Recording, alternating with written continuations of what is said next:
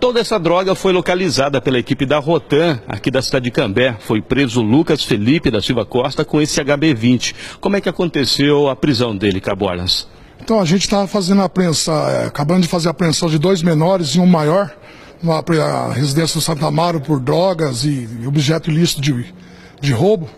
Quando recebemos uma informação aqui na DP aqui que um carro Possivelmente aquele HB20 que está estacionado ali estaria perdido no bairro aqui no Jardim Casaroto, procurando o nome de rua e número da casa. Estava perdido, era um cara estranho. Resolvemos por realizar essa abordagem, nos dirigimos até o Casaroto e localizamos ele saindo do bairro. Na abordagem ali, de pronto, já perguntamos se tinha coisa de errado de carro ilícito ou arma, ele já falou que tinha droga e estava indo numa sacola dentro do, do banco, em cima do acompanhante ali. Disse que estava fazendo corrida, né? Trabalhando como Uber. Sim, ele de pronto ele falou que era um Uber, que ele locou esse carro e que já fez várias entregas, umas três ou quatro entregas em Londrina desse jeito. Em Cambé que seria a primeira. Ele foi contratado, não sabe por quem, que ia receber 300 reais para fazer essa entrega aqui em Cambé. Será averiguado tudo isso, ele está falando a verdade, né? Não, sim, vai ser averiguado, vamos entregar ele agora para o delegado aí.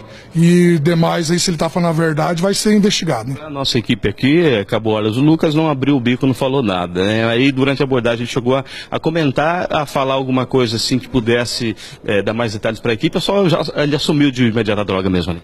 Não, sim, já perguntamos, demos já a revista de abordagem, na revista perguntamos para ele ali se tinha alguma droga ou arma de ilícito dentro do carro, ele já falou, não, tenho droga. Aí nisso ele falou, já até mostrou, apontou onde estaria, que estaria em cima do banco do acompanhante, numa mochila. Foi fácil localizar aí devido à mochila. E que ele também confessou para nós já faz, faz três ou quatro entregas, mas em Londrina, aqui em Cambé é a primeira. Também. Só não indicou para quem seria entregue.